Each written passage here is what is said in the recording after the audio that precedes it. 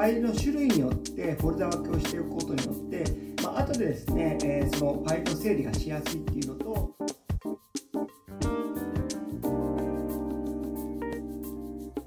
グルメ番組などで出演者の顔から料理のアップ映像になる部分です。